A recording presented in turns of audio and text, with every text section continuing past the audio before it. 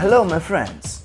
At an event in Beijing, China, Xiaomi showed the new version of its custom user interface MIUI 9. MIUI 9 has been in the making for about a year now and now it's finally official. It's based on Android Nougat 7 and comes with the three key features Image Search, Smart Assistant and Smart App Launcher. The majority of the new features are system optimizations, which should result in a smoother experience, though there are also some visual changes. Let's run through some of the key ones. The image search is something completely new for Xiaomi devices. You can search the images by keywords of what is in the picture.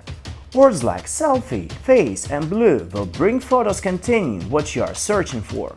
The next feature is called Smart App Launcher. It launches an app based on screen contents. It can open maps if you are talking about going somewhere or help you read more about an artist if you are reading an article on him.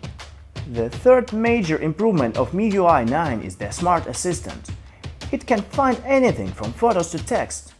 We would like to compare it with a Google Assistant, but this will happen once the ROM rolls out globally.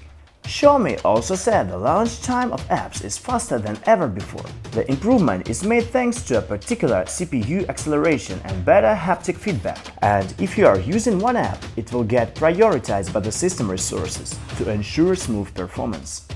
One of the more notable omissions in the earlier versions of MIUI was the lack of a split-screen mode, and with MIUI 9, Xiaomi is reflecting that.